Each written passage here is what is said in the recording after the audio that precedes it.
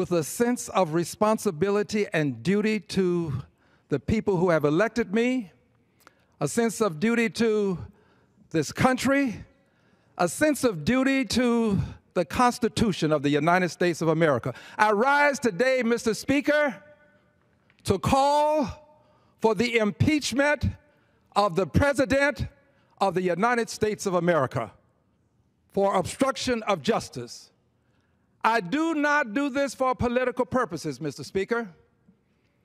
I do this because I believe in the great ideals that this country stands for liberty and justice for all. The notion that we should have government of the people, by the people, for the people. I do it because, Mr. Speaker, there is a belief in this country that no one is above the law, and that includes the President of the United States of America.